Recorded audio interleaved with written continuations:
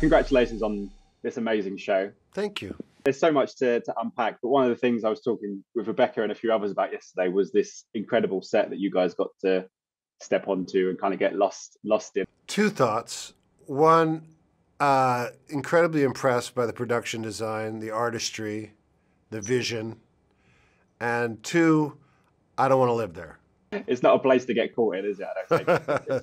I think that's the reason we're doing it. Let's make sure we never have a silo. And uh, you you've been able to play some amazing characters in your in your time. How how did you find this one? Did this one feel different to some of the stuff you've done before? Was it more more challenging? I, I was just fascinated by, and I've always been fascinated by what is that devil's bargain that someone in a position of authority or power must make when they compromise their own morality and integrity for the greater good. What rationalizations, what thought processes, what deceptions, self deceptions they have to endure in order to justify behavior that,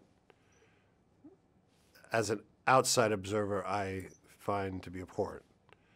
So, this relates to so many things, and Silo eh, relates to now. All of the questions raised are relevant to now, particularly after the last few years. Um, what is truth? How important is the truth? Who controls the truth? My job as head of IT in the silo is to make sure that the dissemination of information is controlled. And when it gets out of control, I need to suppress it. Yeah. And I think we've seen a, a, a, huge amount of examples of that over the last few years.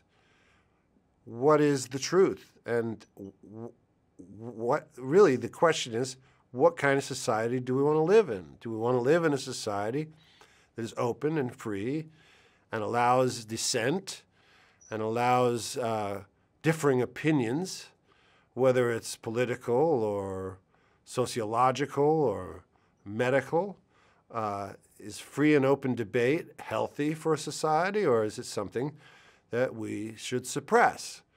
And I know what I think, and I know what my character might think, and they happen to be diametrically opposed.